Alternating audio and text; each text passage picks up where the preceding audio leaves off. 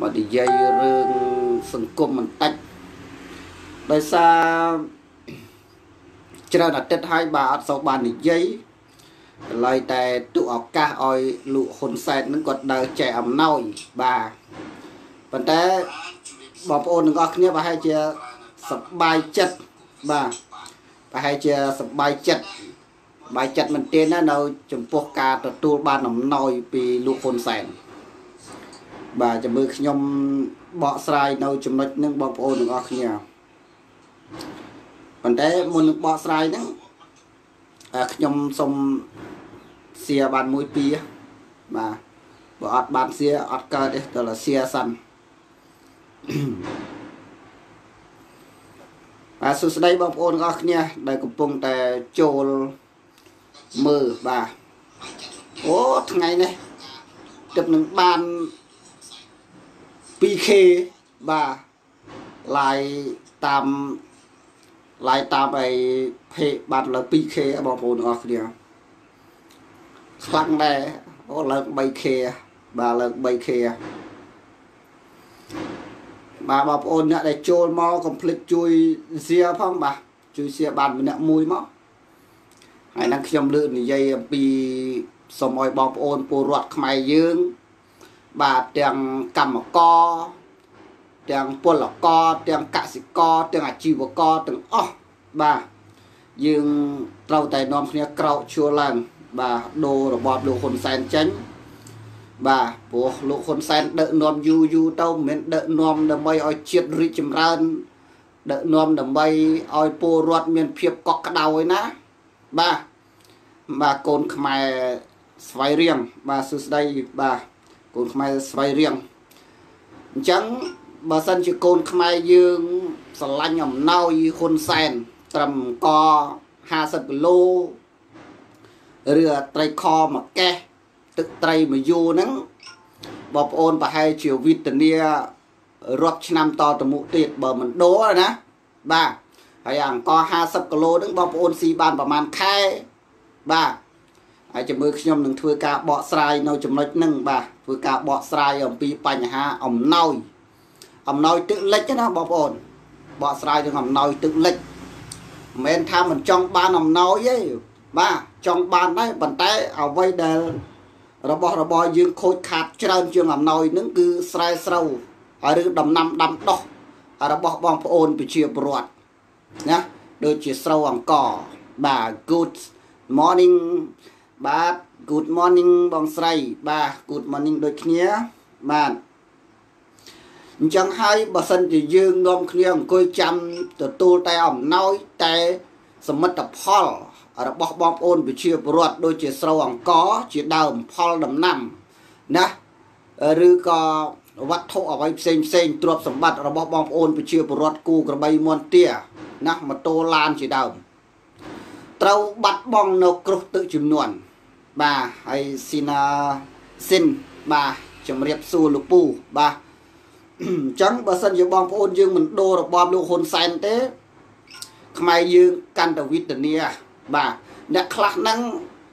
បាត់បង់ស្រូវ4 10 20ហិកតា បាទត្រូវទឹកចំនួននឹងបំផ្លាញខ្ទេចខ្ទីគ្មានសល់អ្វីទេបាទលិចទឹករលួយខ្ទេចប៉ុន្តែគេ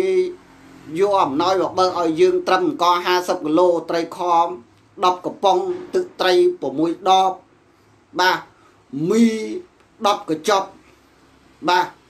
ហើយបងប្អូនចង់បាននេះអំណោយប៉ុណ្ណឹងប៉ុណ្ណឹងចង់បាននេះ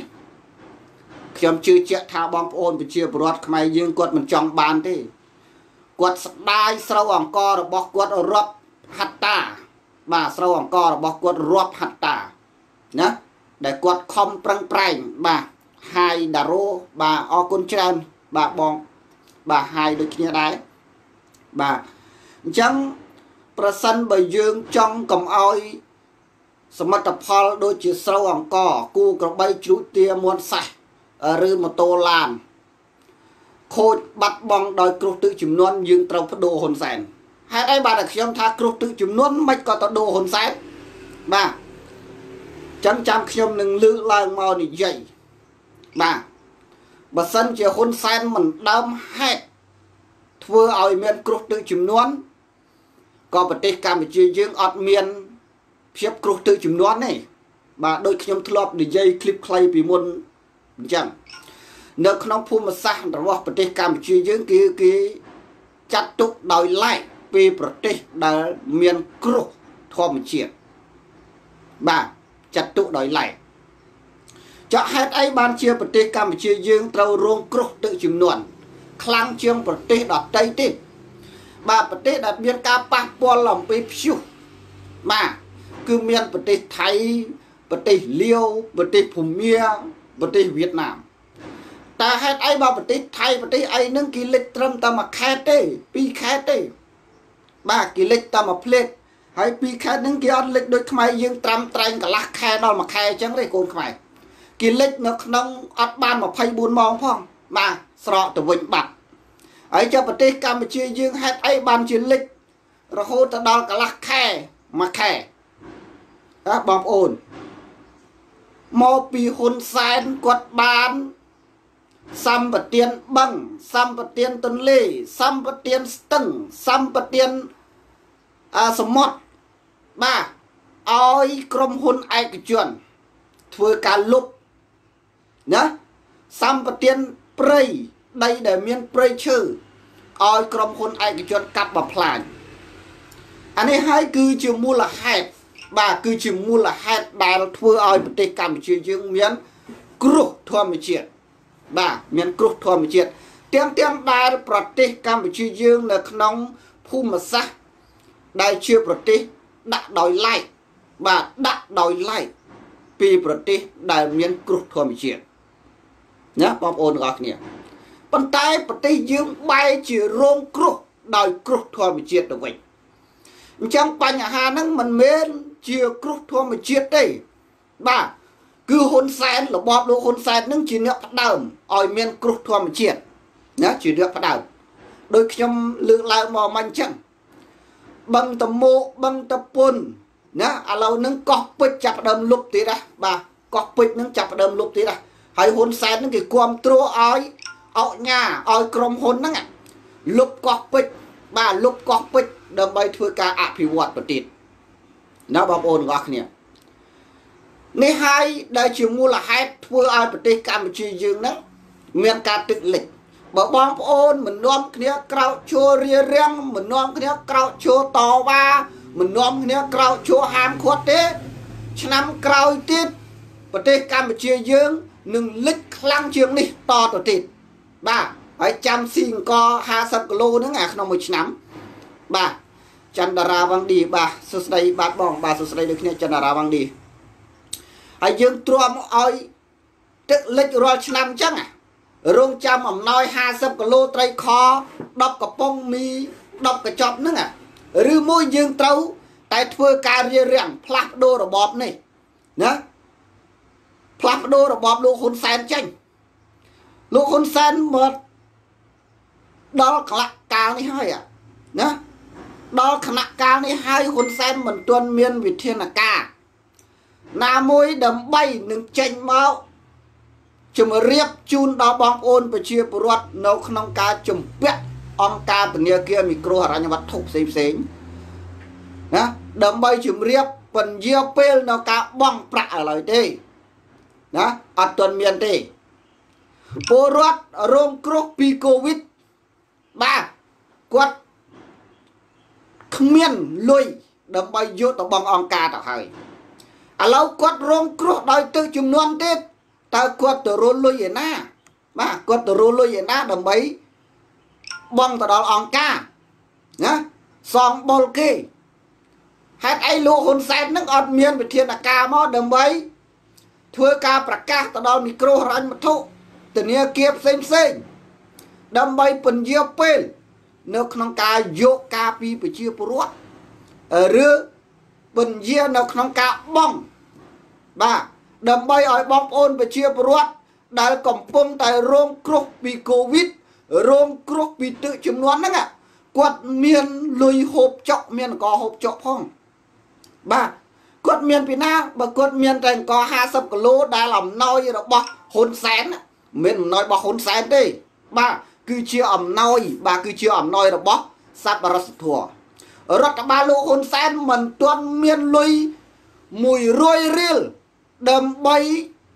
ធ្វើជាអំណោយជូនដល់ពលរដ្ឋនៅឡើយទេ បាទខណៈនៅពេលនេះលោកហ៊ុនសែនមិនទាន់មានកញ្ចប់ថាវិការ ដោយផ្ទាល់ខ្លួន ដើម្បីធ្វើអំណោយចែកដល់ពលរដ្ឋដែលរងគ្រោះទឹកចំនួននៅឡើយទេលុយដែលបានយកមកចែកឲ្យបងប្អូនប្រជាពលរដ្ឋហ្នឹងគឺសិតតែជាលុយ អុញាលុយសប្បុរសធัวណាហើយអុញាហ្នឹងបានលុយមកពីណា4 10 20ម៉ឺនយកមកជួយយើង គឺបានមកពីការកាប់បំផ្លាញព្រៃឈើបានមកពីការលុបបឹងបានមកពីការលុបសមុទ្រណាលុយទាំងអស់ហ្នឹងកូនខ្មែរទាំងអស់គ្នាគេបានមកពីនឹងឯងហើយគេយកមកទិញអង្គឲ្យយើង50គីឡូដើម្បីទុកហូប បាទណាគេយកមកទិញ50គីឡូដើម្បីទុកហូបត្រីខ10កំប៉ុងគេចំណាយត្រឹមគេចំណាយក្នុងមួយគ្រួសារមិនអស់ដល់100ដុល្លារផងប៉ុន្តែផលប្រយោជន៍ដែលក្រុមពូអ្នកដែលបានអឺ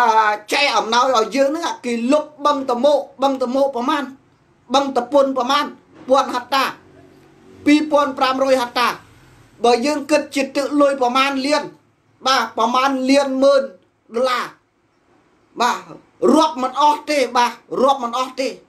គឺលុយរាប់ពាន់លានដុល្លារ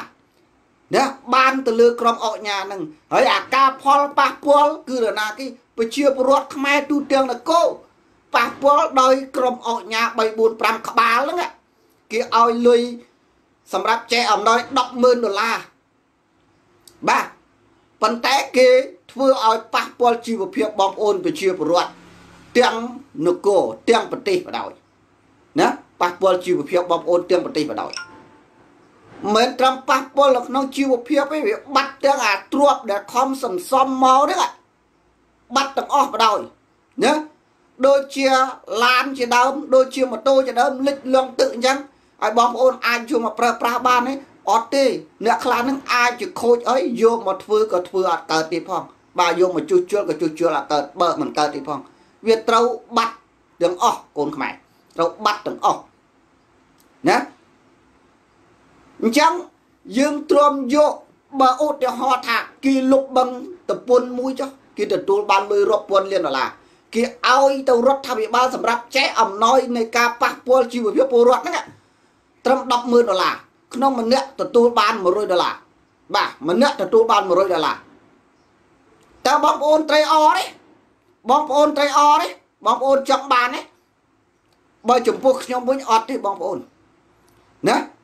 ព្រោះផលប្រយោជន៍របស់ខ្ញុំវាមានច្រើនជាងពេលដែលអស់លោកឯងមកចែកអំណោយឲ្យខ្ញុំហ្នឹងដូចជាស្រូវ4 10 20ហត្តា ប្រសិនបើគ្មានទឹកលិចដោយសារការលុបបឹងបូរបស់អពូលោកឯងខ្ញុំអាចលក់បានរាប់ពាន់ដុល្លារបាទណារាប់ពាន់ដុល្លារ ខ្ញុំអាចទុកសម្រាប់ជីវភាពខ្លួនខ្ញុំហើយខ្ញុំអាចយកទៅលក់ដើម្បីយកថវិកាចូលក្នុងកប៉ៅរកស៊ីអ្វីផ្សេងផ្សេងទៀតបាទបាទអញ្ចឹងកូនខ្មែរគូគិតពិចារណាកុំឃើញគេចែកអំណោយអង្គ50គីឡូ60គីឡូនាំគ្នាត្រេអរណាស់មិនហ៊ានដូរហ៊ុនសែនទេខ្លាចមានគ្រោះទឹកចំនួនមកអត់អំណោយបាទកុំគិតអញ្ចឹងកូនខ្មែរ ហ៊ុនសែនគេបាន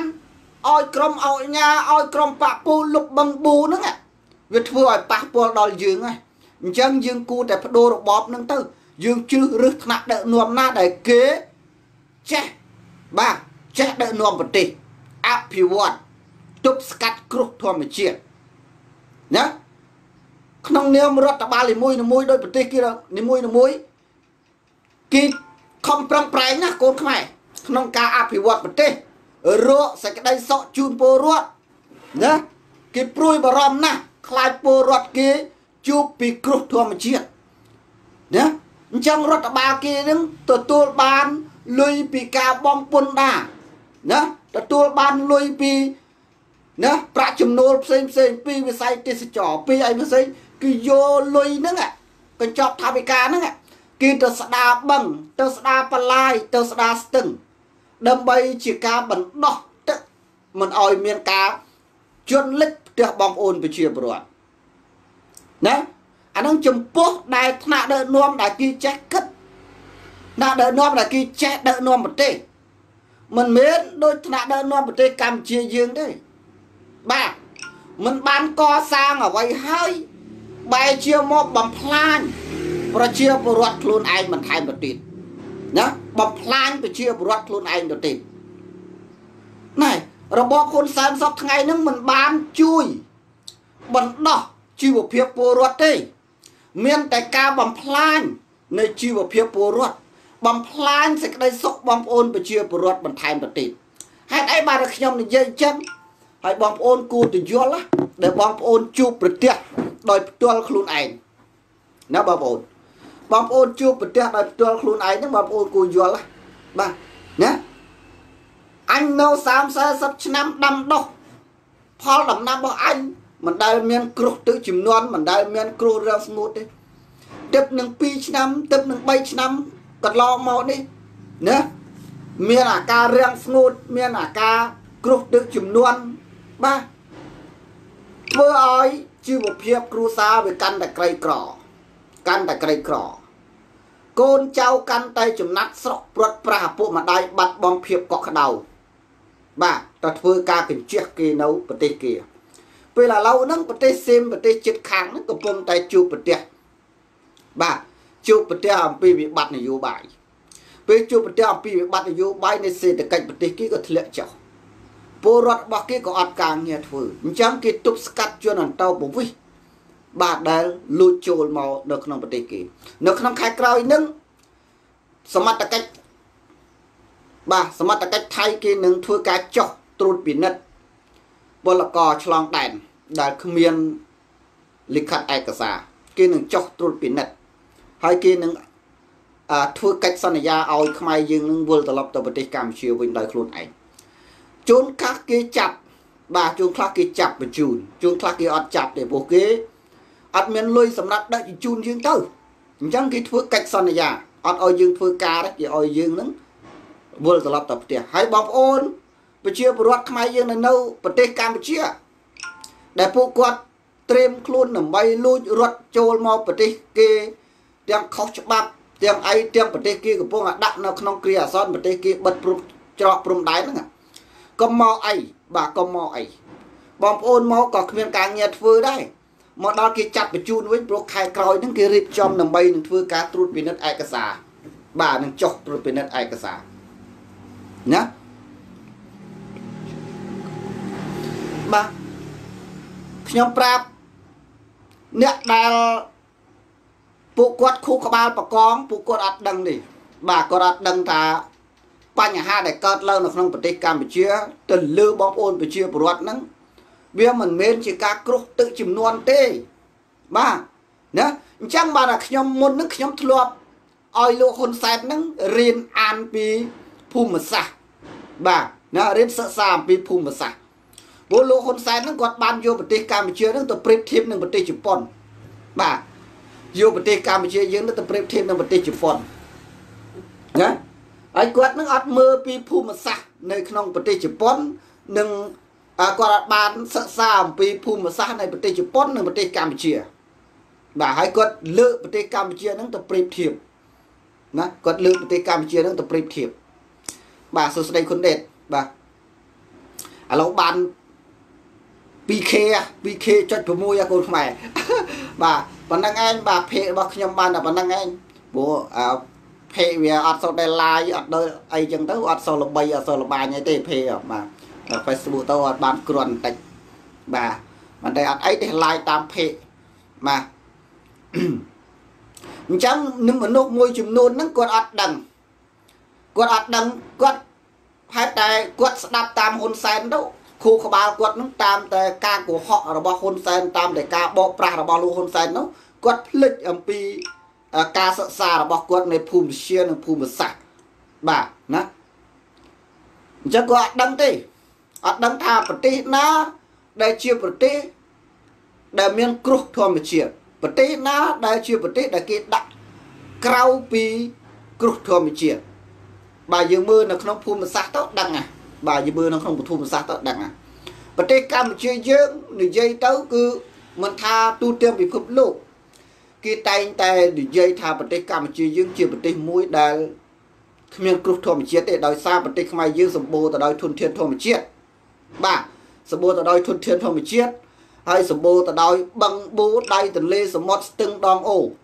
បាទគឺសម្បូរចឹងបាទចូលរួមផងបាទចូលរួមខ្ញុំអឺគុណដេតកូនខ្មែរបាទចាំមើលខ្ញុំទាញចូលមើលបាទយ៉ាងអត់មានគុណដេតឯងហ្នឹងណាបាទចាំផ្លេតគុណដេតឥឡូវខ្ញុំសរសេរសិន បាទសេវាអក្សរបាទខ្ញុំអញ្ជើញគុណដេតបាទអញ្ជើញហើយអាចជួបសេវាអក្សរខាងហ្នឹងបាទបាទសួស្ដីដាក់សេវាឲ្យល្អបន្តិចមើលគុណម្ចាស់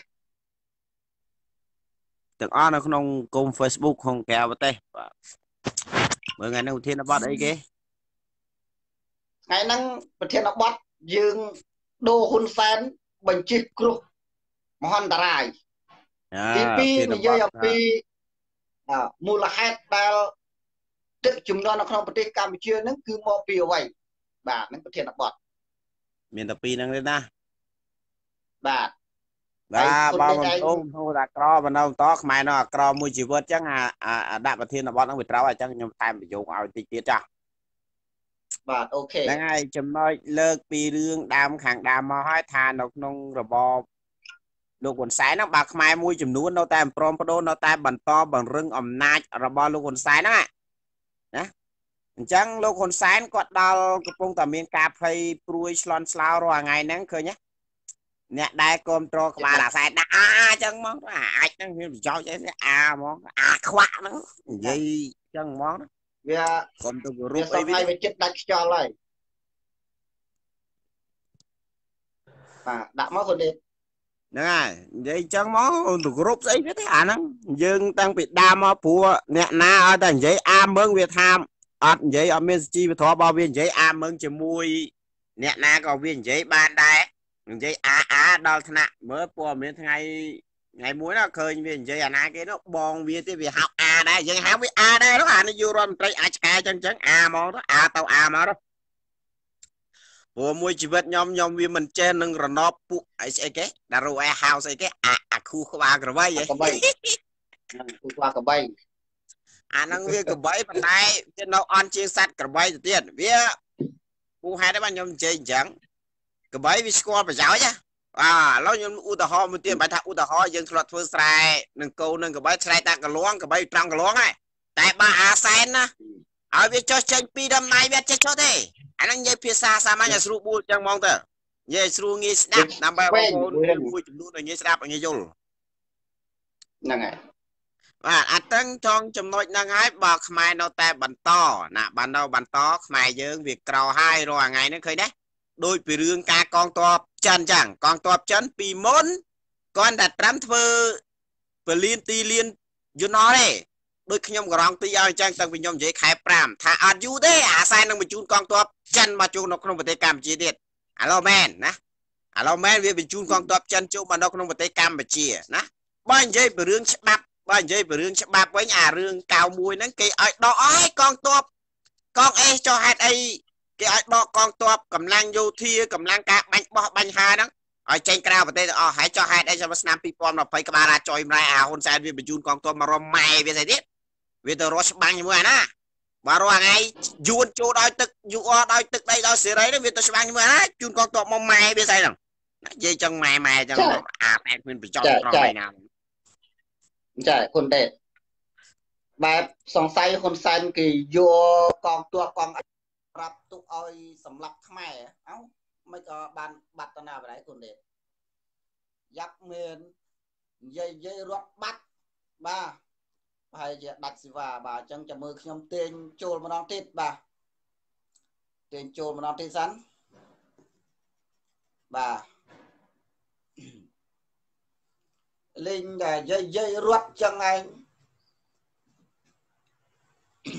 បាទមិញមិញហ្នឹងខុនដេតគាត់និយាយអំពីបញ្ហារឿងលោកហ៊ុនសែនហ្នឹង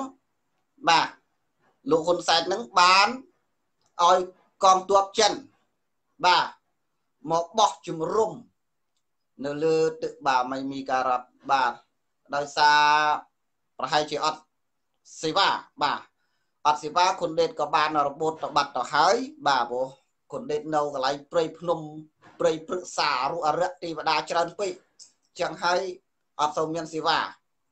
បាទហើយបងអូនចិត្តរងមមអញ្ចឹងលោកហ៊ុនសែនសពថ្ងៃហ្នឹងណា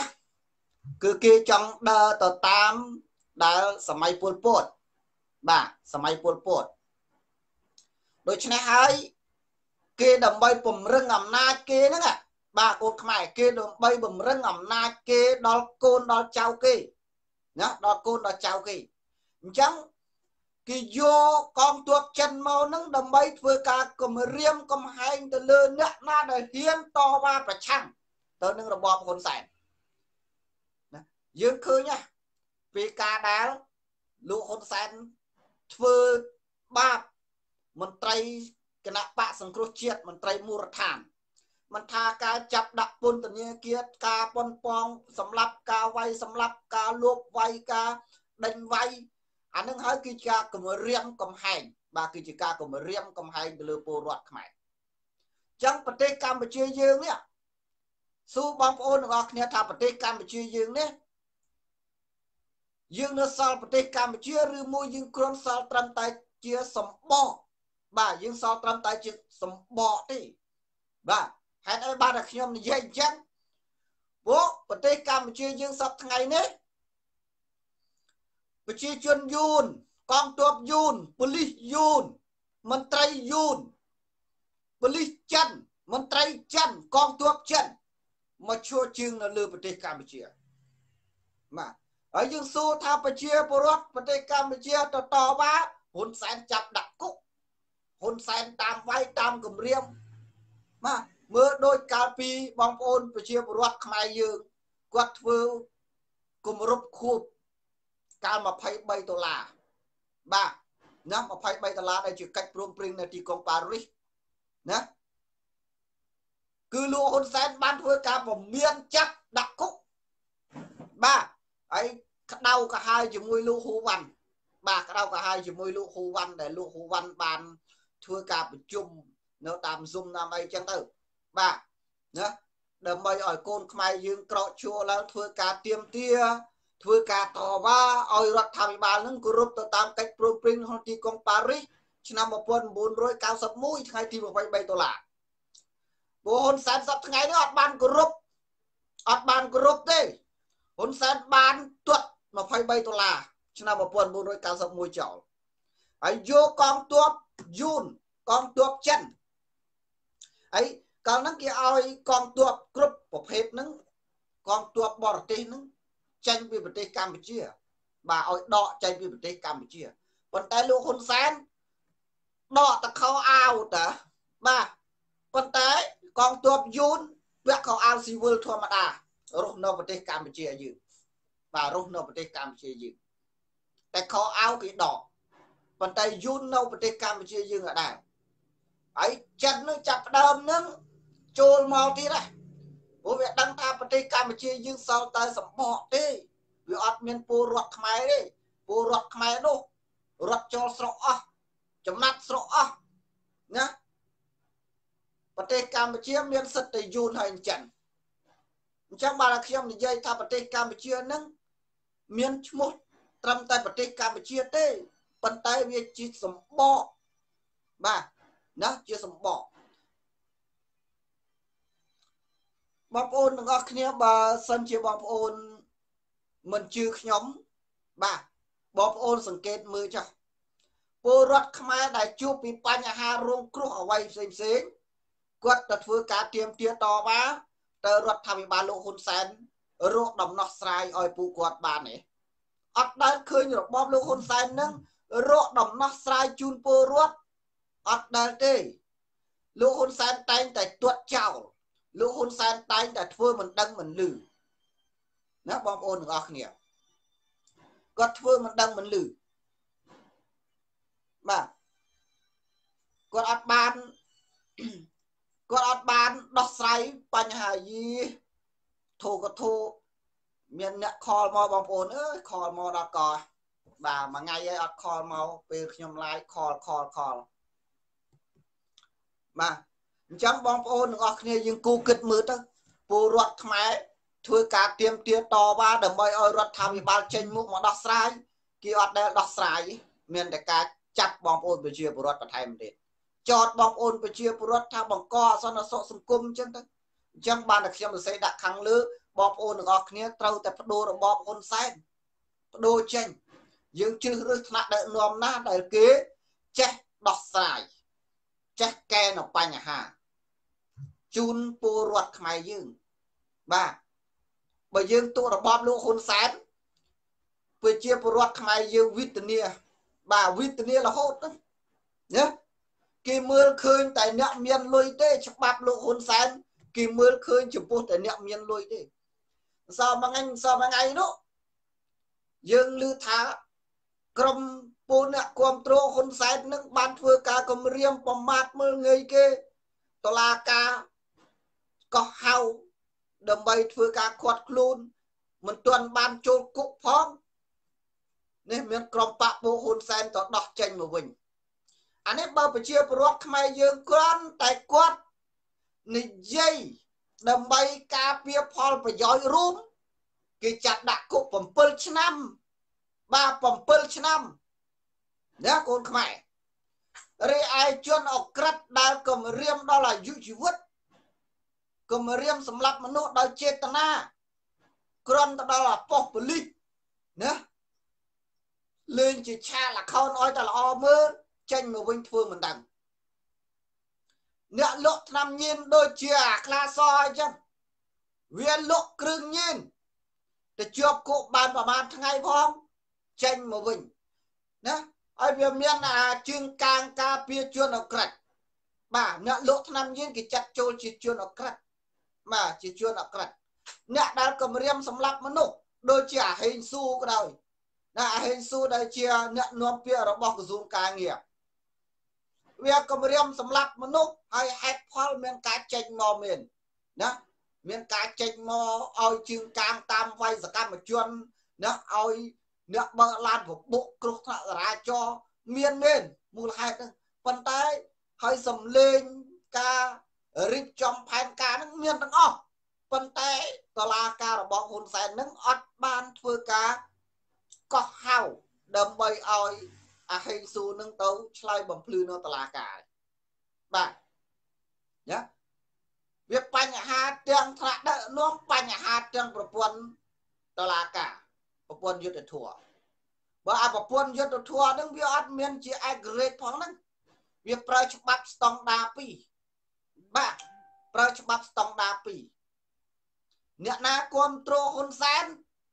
ទុះមានទុះប៉ុណ្ណាក៏ត្រូវតែរួចខ្លួនដែរអ្នកដែលមិនគ្រប់គ្រងរបបហ៊ុនសែន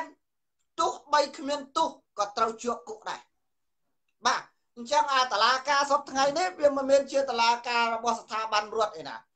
វាជាតឡាការឯកបៈតឡាការធ្វើការឲ្យបកនយោបាយ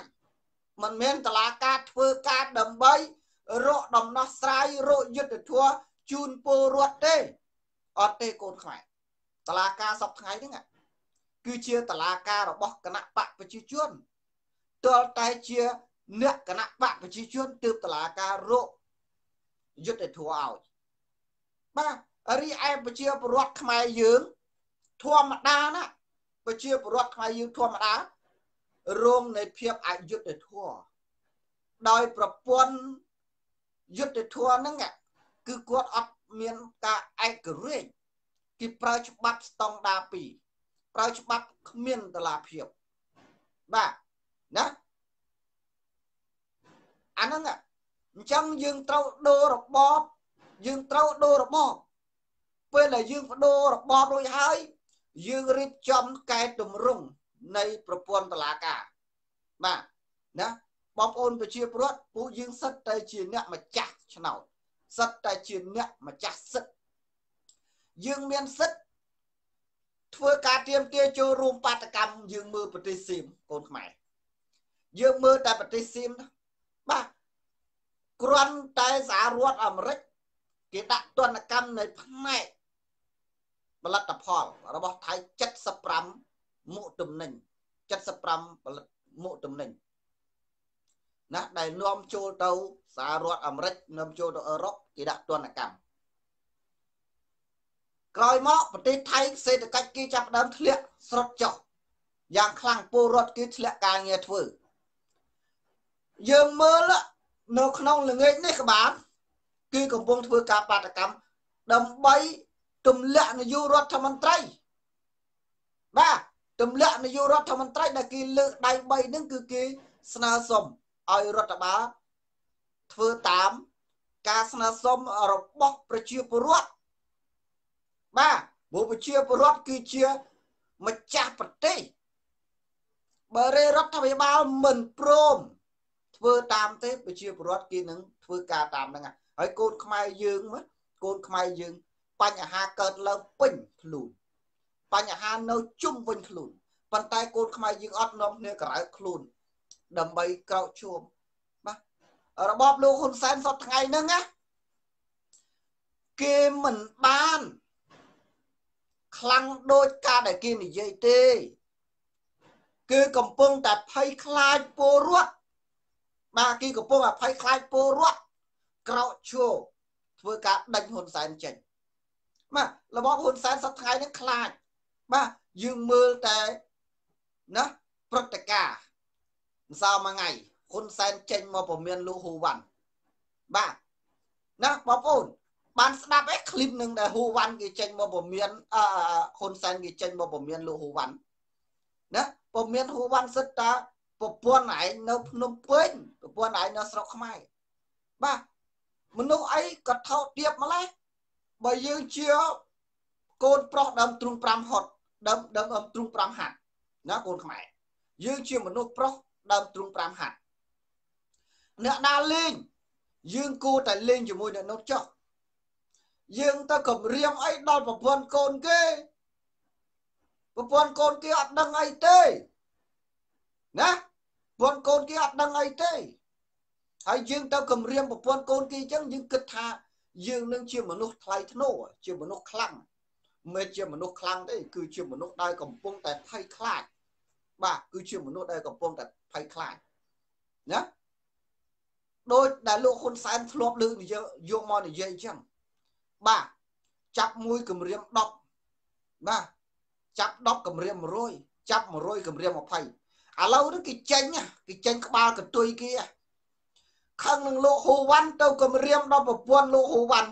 គម្រាមកូនលោកហ៊ូវ៉ាន់ អាហ្នឹងពាក្យចាបុរាណគេនិយាយថា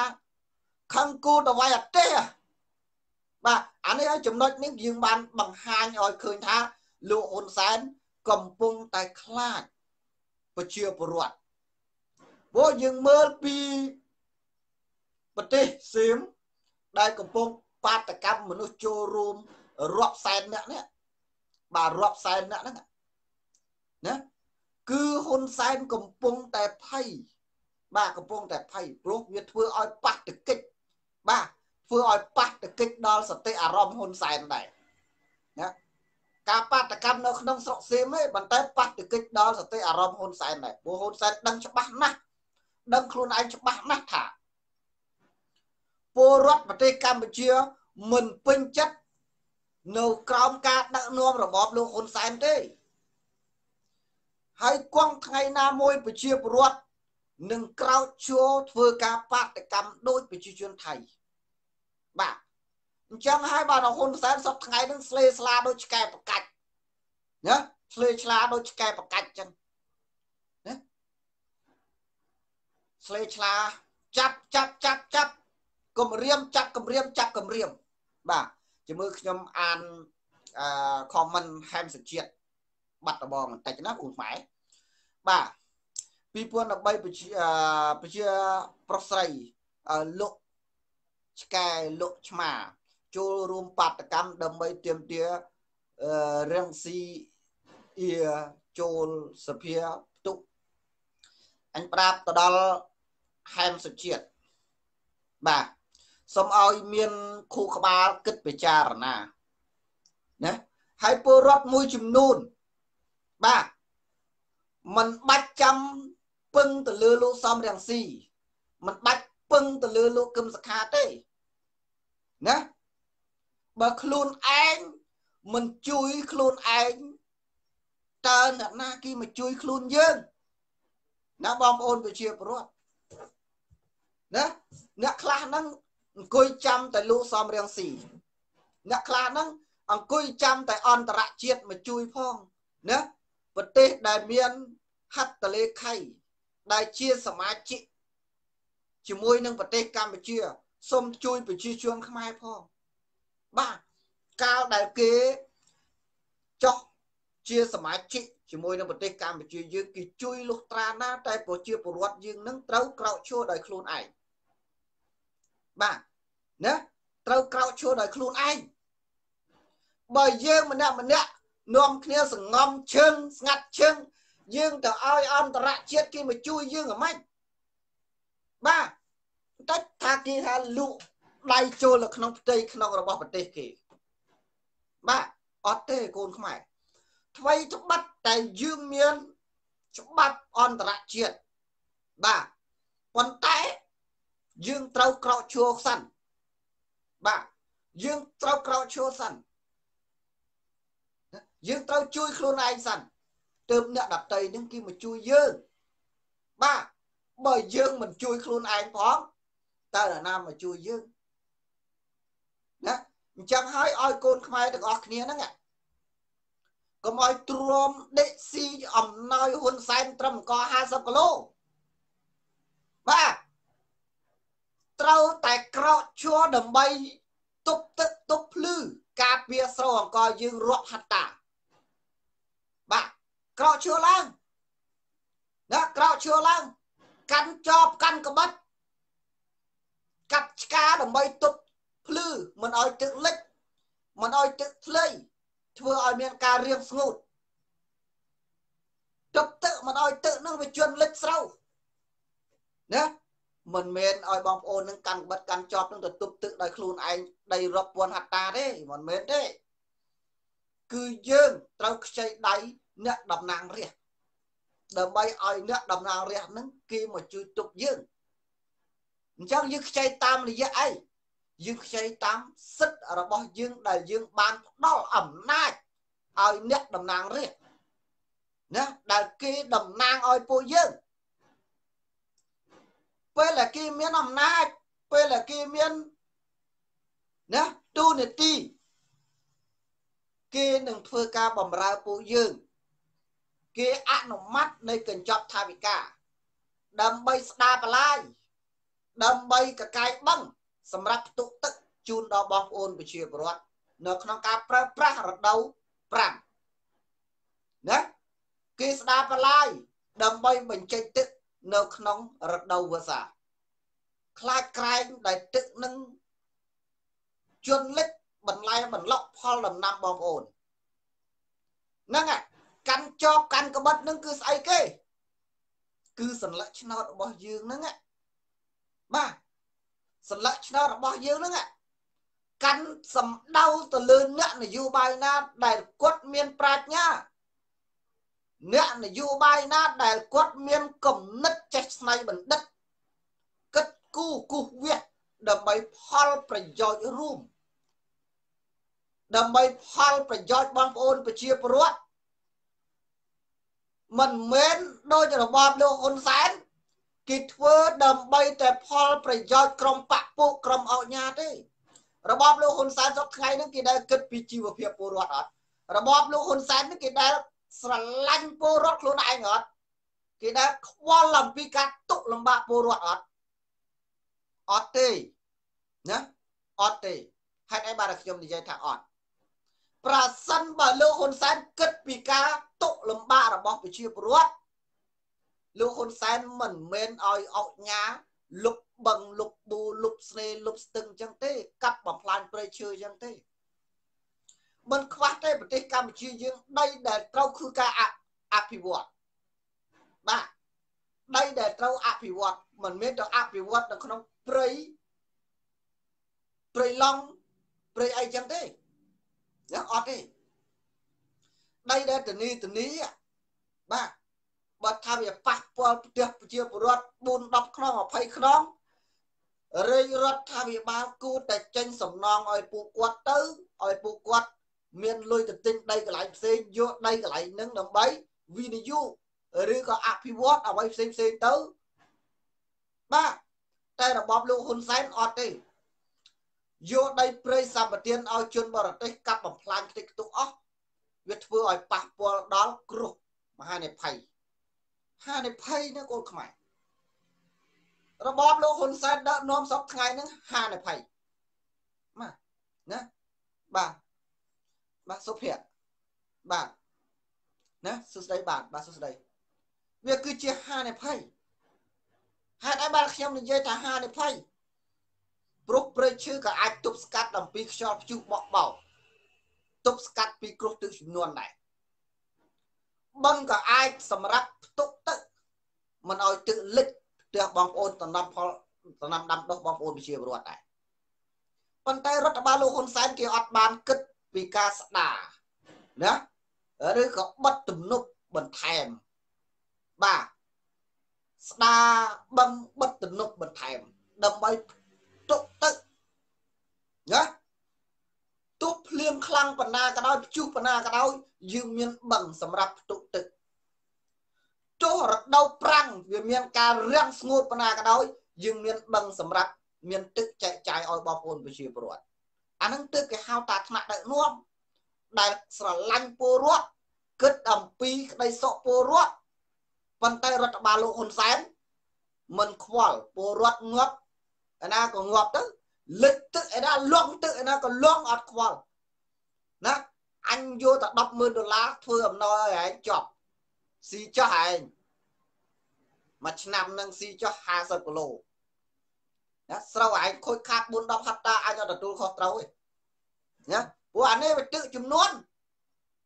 ហើយទឹកចំនួននឹងវាកើតឡើងពីណាកើតឡើងពីរដ្ឋាភិបាលនឹងមិនបានទប់ស្កាត់ពីការលុបបឹងលុបទលេ កាប់បំផ្លាញព្រៃឈើអត់បានទប់ស្កាត់អញ្ចឹងមិនដាល់ឲ្យមានទឹកចំនួនពេលទឹកចំនួនមកលិចយកអំណោយអង្គ50គីឡូត្រីខ5កំប៉ុងយកចែកឲ្យប្រជាពលរដ្ឋចប់មួយឆ្នាំរួចខ្លួនមួយឆ្នាំណា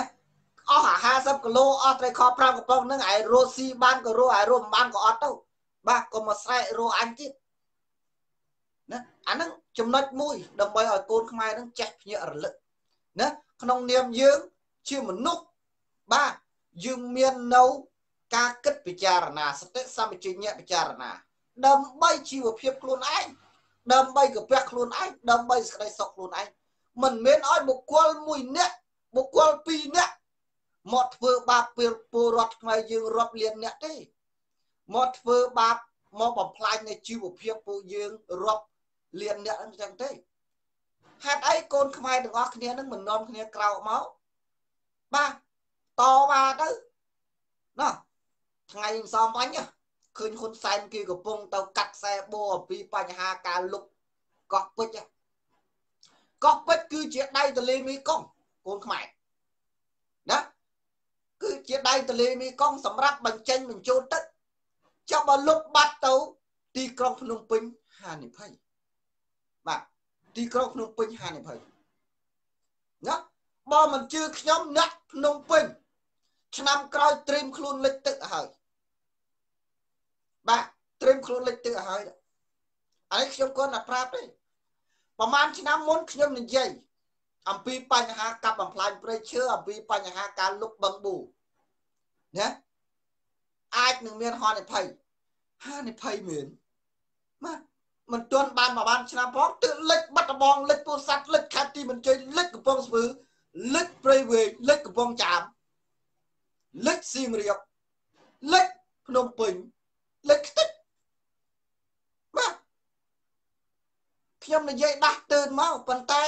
បងប្អូនប្រជាពលរដ្ឋអត់នាំគ្នានឹងជួយគិតកៃខ្វល់ទេអញគិតតែខំដាំបន្លែលក់បានលុយហើយទិញឡានសង់វិឡាបាទ ទិញឡានពេលដែលគ្រោះមកភ្លឹបទឹកលិចឡានខូចខ្ទេច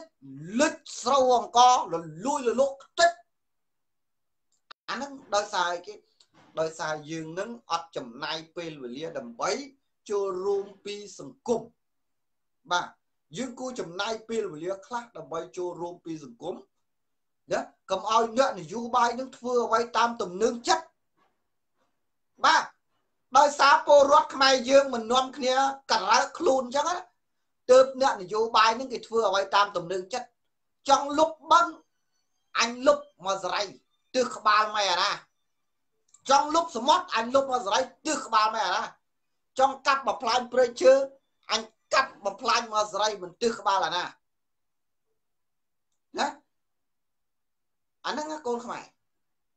ដោយសារអីគេដោយសារពលរដ្ឋយើងនឹងគាត់ ដូចជាមានការស្ពឹកស្រពន់ខ្លាំងណាស់បាទសក់ចិត្តទុកឲ្យគេធ្វើបាបខ្លួនសក់ចិត្តទុកឲ្យគេ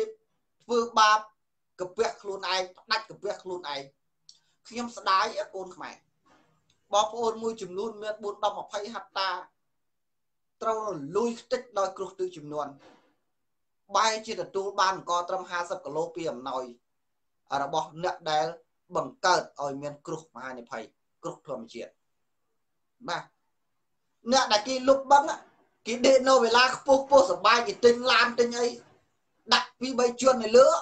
គេដេកធ្វើមិនដឹងគេទទួលបានលុយពីការលុបបឹងលុបសមុទ្រហ្នឹងបាទមិនចេះតិចទេបាទអញ្ចឹងបងប្អូនប៉ុណ្ណឹងសិនណាបាទដោយសារមានគេខលមករំខានពេកបាទ